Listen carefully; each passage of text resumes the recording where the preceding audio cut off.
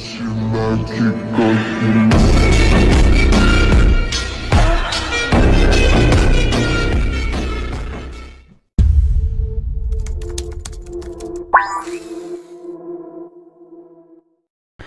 အားလုံးမင်္ဂလာတငယ်ချင်းတို့ရေကျွန်တော်သူနေဆိုပဲဖြစ်ပါတယ်။ကဲဒီတစ်ခေါက်မှာတော့ကျွန်တော်တက်ဆက်ပေးမယ့် game လေးက game အသစ်လေးတော့မဟုတ်ပါဘူး။ကျွန်တော် game လေးနှစ်ခုအခုလင်းချပေးမယ်။အဲဘယ် game တွေလဲဆိုတော့ကျွန်တော်တို့အရင်တစ်လလောက်တုန်းကကျွန်တော်တင်ဆက်ပေးဘူးတဲ့ game နှစ်ခုပါပဲ။တစ်ခုကတော့ Death Magic လို့ခေါ်တယ်။ Death Magic ကိုကျွန်တော်မြန်မာလို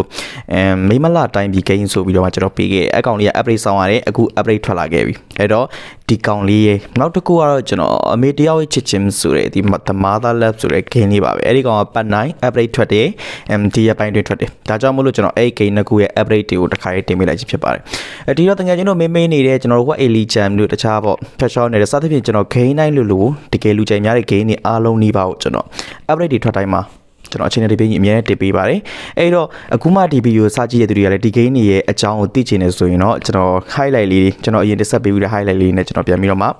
တင်ဆက်ပေးလိုက်ပါမယ်အဲ့ဒီတော့ဒီ The Mother Let Game ကတော့ကျွန်တော်တို့ပတ်9ပတ်9ဟိုမှာအဲဒီကောင်းရဲ့ megabyte ကတော့ဒီ320 megabyte ကျော်ကျော်လေးရှိတယ်။နောက်ပြီးတော့အဲ damage ကတော့နည်းနည်းများတယ်။မိမလာတိုင်းပြီး game ပေါ့။အဲ့ဒီ game ကတော့ကျွန်တော်တို့1.91 GB လောက်တိရှိရယ်ပြောရမယ်ဆိုရင် 2K နီးပါလို့ရှိရယ်အဲ့တော့တကယ်ချင်းတော့ဒီ update ကိုစောင့်နေကြမယ်လို့ထင်လို့ကျွန်တော်ကအခုအပြေးပဲလာပြီးတော့မှ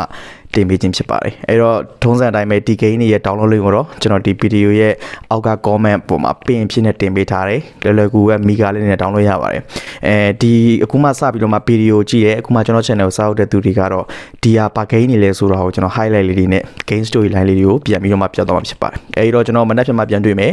အဲအခု video လေးတွေကိုကျွန်တော်ဆက်လိုက်ကြရအောင် game လေးတွေကဘယ်လိုမျိုးလေးလဲဆိုတော့ကျွန်တော်ပြမှာဖြစ်ပါတယ်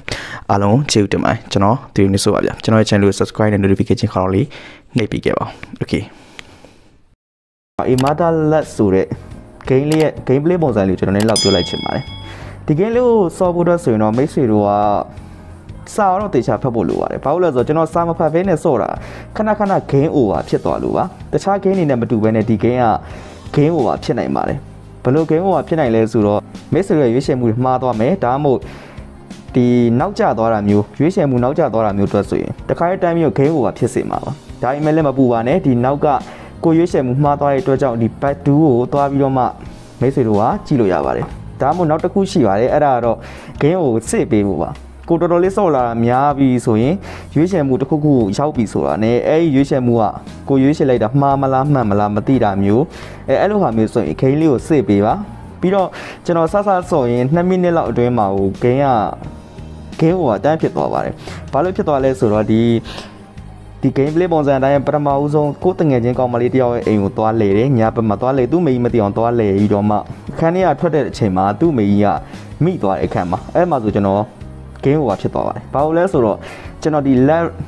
right နှစ်ခုယူအမြန်မရွေးလို့ပါ။သူ့ရဲ့ progress bar လေးက သူပြီးသွားတာဆိုတော့အဲ့ဒီ progress bar လေးကိုကျွန်တော်က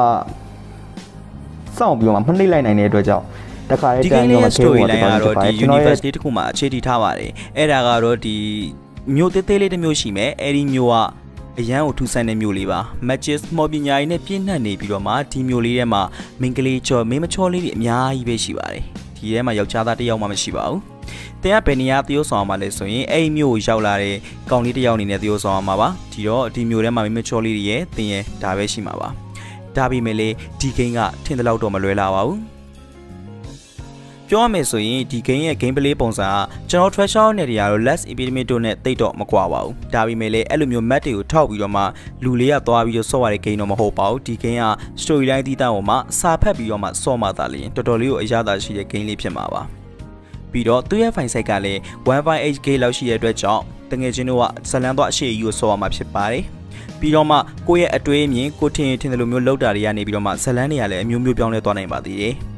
ဂိမ်းလေးရဲ့စောပုံစော်နီကတော့အရန်ကိုလွယ်ကူပါတယ်။ဘာလို့လဲဆိုတော့ဘေးကမှာဘေးမှာသူကဂိုက်က3-5ခုပေးထားတဲ့အတွက်ကြောင့်မို့လို့တငယ်ချင်းတို့ကအေးအေးစော်နိုင်ပါတယ်။အဲ့ဒါကိုလည်းကျွန်တော်ကဒီမှာတစ်ခန်းနှစ်ခန်းလောက်အသေးစိတ်စော့ပြပေးလိုက်မှာဖြစ်ပါတယ်။အဲ့ဒီအသေးစိတ်စော့ပြပေးတာကိုတငယ်ချင်းတို့ကကြည့်ပြီးတော့မှဒီဂိမ်းလေးကို download ဆွဲပြီးတော့မှစော့တင်မစော့တင်ကိုကိုယ့်ဘာသူကိုဆုံးဖြတ်နိုင်မှာဖြစ်ပါတယ်ဗျာ။တကယ်လို့သာဂိမ်းလေးကိုကြိုက်နေတက်ခဲ့မယ်ဆိုရင်တော့ကျွန်တော်ရဲ့ channel က comment comment box လေးတွေမှာကျွန်တော် FIFA လေးတွေကိုပြန်ပေးခဲ့ကြပါဦးနော်။ကျွန်တော်ဒီလိုမျိုး game land လေးတွေအမျိုးစုံ stay on ကာလာမှာအမြဲတင်ဆက်ပေးနေမှာဖြစ်ပါတယ်။ဒါကြောင့်မို့လို့ channel လေးကို subscribe နဲ့ notification လေးနှိပ်ပေးခဲ့ကြပါဦးဗျ။ကဲဒီတော့ကျွန်တော်ကဒီ game လေးကိုစော့ပြလိုက်မယ်တငယ်ချင်းတို့ကလိုက်ကြည့်ကြပါအောင်နော်အာကျွန်တော်ပြောဖို့မေ့သွားသေးရဲ့ဗျဒီ game လေးရဲ့ download link ကိုဒီ channel လေးရဲ့ဒီ description မှာပဲကျွန်တော်ချပေးထားပါတယ်ပြီးတော့ comment မှာလည်းကျွန်တော် link လေးကိုချပေးထားပါမယ်ငွေချင်းတို့ကကြိုက်တဲ့နေရာကနေ download ဆွဲပြီးတော့မှဒီ game လေးကိုဆော့လို့ရပါတယ်နော်အားလုံးပဲအဆင်ပြေကြပါစေဗျာ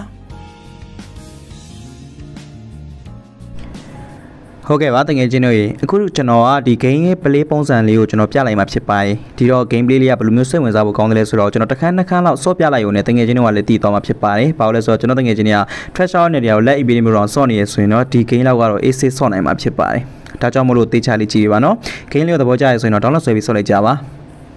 file size နည်းနည်းများတဲ့အတွက်ကြောင့်ကျွန်တော် game play လေးကိုပြလိုက်ခြင်းဖြစ်ပါတယ်ဒီတော့ကျွန်တော်တို့လောက်ကနေကျွန်တော်အခန်းလေးတစ်ခါကိုရွေးပြီးတော့မှဒီစော့ကြည့်လိုက်မယ်နော် โอเคဒါကတော့မိတ်ဆွေရဲ့အခန်းဖြစ်ပါတယ်ဒါဆော့ရမယ့်သူရဲ့အခန်းမှာအဲ့ဒီအခန်းထဲမှာဘာလို့လို့ရလဲဆိုရင်သူကလုံးဆရာရောအများကြီးရှိပါတယ်စာအုပ်တွေဖတ်လို့ရမယ်နောက်ပြီးတော့ဒီ Redway ဆိုတဲ့ဒီမော်ဆီယာမာလေးနဲ့လည်းတော့တွေ့လို့ရပါတယ်အဲ့တော့ကျွန်တော်ရှေးဥစွာနဲ့သူ question mark လေးပေါ့ဒီဘက်က question mark လေးကအထူးကထားပြီးနှိပ်ရမှာပါအဲ့ဒီမှာဒီ magic note လေးရှိတယ်သူကဘာတွေပြောထားလဲဆိုရင်ရေးသွားချိုးပါနောက်ပြီးတော့ဒီဘက်က Redway နဲ့တွေ့ပါပြီးတော့ Monaco ဒီ afternoon နေ့လယ်လောက်မှသွားပြီးတော့တွေ့ပါဆိုတော့ကျွန်တော်တို့ကဒီ ပြောမယ်ဆိုရင်တက်တရနောက်ဆုံးဟာကိုနောက်မှလောက်ရမယ်အရင်ဆုံးကျွန်တော်ရေရှိုးရမယ်ရေရှိုးရမယ်ဆိုတော့ကျွန်တော်ရေသွားချိုးလိုက်မယ် lead room ကနေပြီးတော့မှအခန်းထဲကထွက်မယ်ထွက်ပြီးတော့ကျွန်တော်ရေရှိုးတဲ့နေရာကိုသွားလိုက်မယ် Oh the someone using the balloon တဲ့ဒီရေချိုးခန်းထဲမှာတယောက်ကတော့ရေချိုးနေပြီတဲ့ဒီတော့ကျွန်တော်ဝင်လို့မရဘူးဒီတော့ကျွန်တော်ဒီမှာလုံးဆရာပါရှိလေဆိုတော့ဒီခန်းထဲကိုချောင်းကြည့်မလားဒါမှမဟုတ်ရင် lead ထွက်သွားမလားဆိုတာရှိပါတယ်ကျွန်တော်ကတော့ pick မလုပ်တော့ပါဘူးဘာလို့လဲဆိုတော့တငယ်ချင်းတို့ YouTube မှာတင်ပြတဲ့အခါမှာဒီလိုမျိုး sensor ပါသွားတဲ့အခန်းမျိုးဆိုရင်ကျွန်တော်ရဲ့ channel ကို ban မှာဖြစ်တဲ့အတွက်ကြောင့်ကျွန်တော်ဒီကနေ leave လိုက်မယ် leave လိုက်ပြီးတော့ကျွန်တော်အခန်းထဲပြန်သွားပြပါမယ်တကယ်ကျွန်တော်ကကိုပါသူကိုကြားမှသာလျှင်ကိုပါသူကိုစော့ကြည့်ကြပါနော်โอเคကျွန်တော်ဒီမှာတစ်ခုရှိပါတယ်ဟောရီကညာဘက်ထောင်လေးမှာ knife ရှိမယ်ဒီအချိန်တွေကိုအများနဲ့ပြနေမှာပါတိုင်းရနေပြီးတော့အဲ့တော့တကယ်ကျွန်တော်အနေနဲ့ကဒီကိုယ့်ရဲ့အခန်းထဲမှာတဲ့အိမ်နက်ကနေပြီးတော့မှအချိန်တွေကို ဆွဲပြီးတော့မှဆန့်လို့ရပါတယ်အခုကျွန်တော် late night ကိုတွားလိုက်တယ်အရန်ကိုနောက်ကျနေတဲ့ညမျိုးရအောင်ကျွန်တော်ယူလိုက်တယ်ယူပြီးကျွန်တော်အခန်းထဲထွက်လိုက်မယ်ထွက်ပြီးရင်တော့ကျွန်တော်ရေချိုးခန်းထဲတွားလို့ရပါပြီဒီချိန်ဆိုရင်တော့ဘယ်သူမှရေမချိုးတော့ပါဘူး okay ကျွန်တော်ရေသွားချိုးလိုက်မယ် take back ကျွန်တော်ရေချိုးလိုက်ပြီပေါ့ကျွန်တော်ဘာလို့ချိုးရလဲဆိုဒီ question mark မှာပြထားတဲ့အတွက်ကြောင့်ကျွန်တော်ချိုးလိုက်ခြင်းဖြစ်ပါတယ် Oh the why the night is there right in here ဆိုဒီနေရာမှာကြွက်တကောင်လားမသိဘူးသူအတန်ကြားရတယ်ပေါ့သူသူကြည့်လိုက်တဲ့အခါမှာဒီရနေပြီးတော့ ဒီကြွက်တွေကတိုးသွားတဲ့အတွက်ကြောင့်ပုံလေးပြုတ်ကြပါတယ်အဲ့ဒီမှာထူးဆန်းအောင်ဝေရတစ်ခုတွေ့ရပေါ့အဲ့ဒါတော့ဒီရေချိုးခန်းနဲ့သူ့ရဲ့အိတ်ခမ်းကိုဆက်သွယ်ထားတဲ့အပေါက်တစ်ပေါက်ပေါ့ဘယ်သူဖောက်ထားမှမသိတဲ့အပေါက်တစ်ပေါက်ကိုသူကတွေ့သွားတယ်အဲ့ဒီအတွက်ကြောင့်တင်းရဲ့မိတ်ဆွေရဲ့အခန်းထဲကိုရောက်တိုင်းမှာဒီရေချိုးခန်းထဲကိုကြည့်နိုင်တဲ့အပေါက်လေးတစ်ခုကအဲ့ဒီ button လေးတစ်ခုကပေါ်လာမှာဖြစ်ပါတယ်ဒါ game လေးပုံစံအတိုင်းပါပဲဒီ game တစ်ခုလုံးလည်းအဲ့လိုမျိုးလေးဆက်သွယ်ထားပါတယ်ဒီဒီ am am law ဖြစ်ဖို့အတွက်ကြောင့် ဖြစ်ဖို့အတွက်ကတစ်ခုပြီးတစ်ခုတင်ကလုတ်ကိုလုတ်နေရမှာပါအဲ့ဒီလုတ်တဲ့အတွက်ကြောင့်လည်းနောက်တစ်ခန်းနေရာပွင့်လာမှာဖြစ်ပါတယ်โอเคကျွန်တော်တို့အခု late night အရန်ကိုနောက်ကျသွားပြီဆိုတော့ကျွန်တော်တို့အခန်းထဲကိုပြန်သွားမယ်ပြန်သွားပြီးတော့ဒီဒုတိယအချက်ဖြစ်တဲ့ဒီ Chulan Magic from Rockway ဆိုတဲ့ဒီအနီရောင်မော်ဆီယာမာလေးဆီယာနေကျွန်တော်တခုသွားပြီးတော့ magic တွေကိုသွားတင်ရမယ်ဒါကလည်း less AB limited မှာပါတဲ့ကျွန်တော်တို့ဒီဆေးရည်တွေအတိုင်းပါပဲ အဲအတိုင်းပဲပေါ့ဒီကကြတော့ small small ပညာစွမ်းရည်တွေဟိုကကြတော့ကျွန်တော် PR စိလို့ခေါ်မလားအဲ့လိုမျိုးဆေးစွမ်းရည်အတိုင်းပါပဲဒီ game တွေရဲ့ game play ပုံစံတွေကအဲ့လိုတွေပဲဖြစ်ပါတယ်အဲ့တော့တကယ်ချင်းတို့ကဒီကနေပြီးတော့ကျွန်တော်တို့ Rawway စီကိုသွားမယ်ဒါတတိယမြောက်ပေါ်တွင်ဖြစ်တဲ့ Basic Rawway ပါကျွန်တော် Rawway နဲ့သွားတွေ့မယ် အဲ့ဒီမှာ Robin နဲ့စကားရပြောမယ်ပေါ့ပြောမယ်ဆိုတော့ဒီဘက်မှာ question mark ကိုကျွန်တော်တို့ထောက်ကြည့်လိုက်မယ်ဆိုရင်ဒီကနေပြီးတော့မှ Sam Magic from Robin Robin စီကနေကျွန်တော်တို့ Magic တွေတင်ယူလို့ရပါတယ်တင်ယူလိုက်ပြီးတော့ကျွန်တော် option ကနေပြီးတော့မှ Absorb Magic ဆိုပြီးတော့မှကျွန်တော်တို့တခုတင်ယူလိုက်မယ်အဲ့ဒီမှာ Mosia Malia တင်ကို Magic စွမ်းရင်တွေပေးမှာဖြစ်ပါတယ်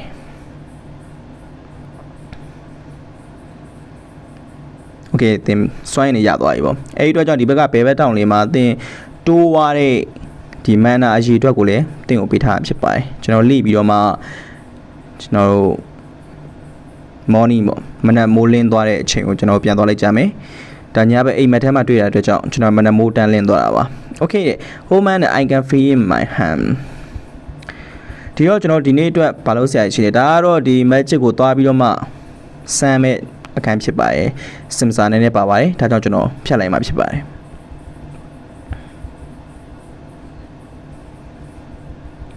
โอ ဟုတ်ကဲ့ကျွန်တော် question mark လေးကိုပြန်မေးမယ်အဲ့ဒီမှာ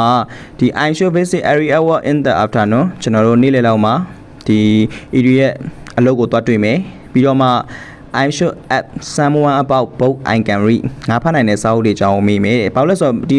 Rockwell လေးကတင့်ကိုပြောလိုက်ပါတယ်ဒီစာအုပ်တွေဖတ်မှသာလျှင်ဒီဒီထက်ပိုကောင်းတဲ့ magic စွမ်းရည်တွေကိုတင့်ကိုပေးနိုင်မှာဖြစ်တဲ့အတွက်ကြောင့်တင်ကစာတွေဖတ်ပြီးတော့ intelligent ဖြစ်လာအောင်လုပ်ရပါမယ်ဒီ knowledge တွေတိုးလာမှသာလျှင်တင်က manner ရည်တဲ့တွေများလာမယ်နောက်ပြီးတော့ ဒီထက်ပိုတဲ့ skill တွေကိုတင်ရရမှာဖြစ်ပါ